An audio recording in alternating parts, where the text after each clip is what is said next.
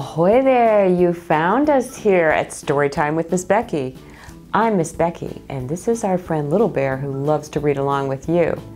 Little Bear has a question for you, buckos. Have you met mean looking Sir Peg? No? Shiver me timbers! Here he is right now with eight giant seahorses pulling his sleigh. Let's put on the magic reading glasses and see if Sir Peg is anything like Santa Claus. A Pirate's Night Before Christmas by Philip Yates. Twas the night before Christmas aboard the Black Sark. Not a creature was stirring, not even a shark. The stockings were stuck to the bowsprit with tar in hopes that Sir Peggedy soon would be there. The pirates were snoring like pigs in their beds, while visions of treasure chests danced in their heads. And I, with me spyglass and scruffy old dog, stood watch in the crow's nest for ships in the fog. When out in the mist there arose such a racket, I slid down the mast with me sword to attack it. Away to the poop deck I ran very fast. I threw off the anchor and shouted, Avast! Straight up from the sea in the foamy white spray flew eight giant seahorses pulling a sleigh. A mean looking driver a hoisting one leg. Well, shiver me timbers, it must be Sir Peg.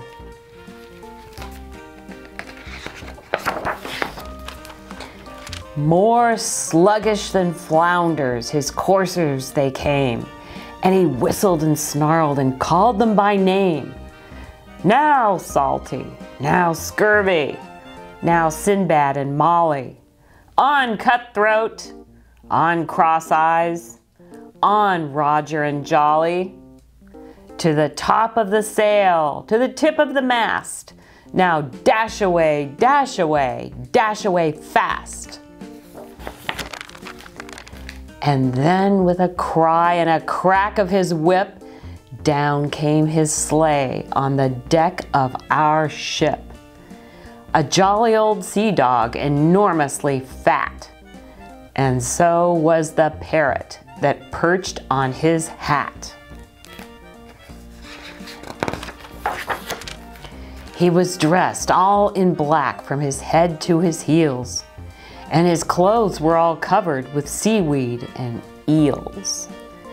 His eyes, how it twinkled. His dreadlocks, how twiny. His scars were like crossbones. His gold tooth, how shiny. His mouth was turned up with a nasty old look. The silver gleamed sharp on the point of his hook. A scary white skull he had hung on his ear soon gave me to know I had nothing to fear. He spoke not a word, but went straight to his sack and stuffed all the stockings with coins and hardtack. The black sark was soon filled with holiday cheer and loaded with gifts for each good buccaneer. Anchors and hornpipes and cackle fruit eggs, pearls and red sashes for Bonnie and Meg, a cauldron for cook filled with pieces of shank, and just for the captain, a shiny new plank. But oh, me heart broken and tears in me eyes, I said to myself, Blimey, where is me prize? But he hopped in his sleigh, to his team gave a roar. It's time to return to the briny deep floor. Then, just when I thought it's me worst Christmas day, a parchment of paper flew down off the sleigh.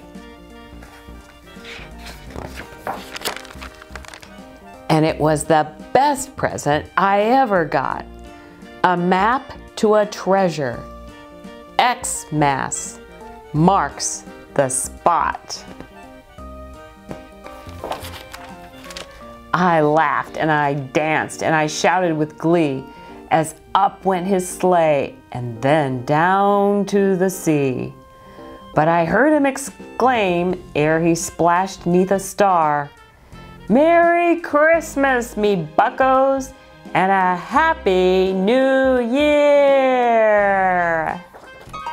Little Bear's wondering, what is a poop deck?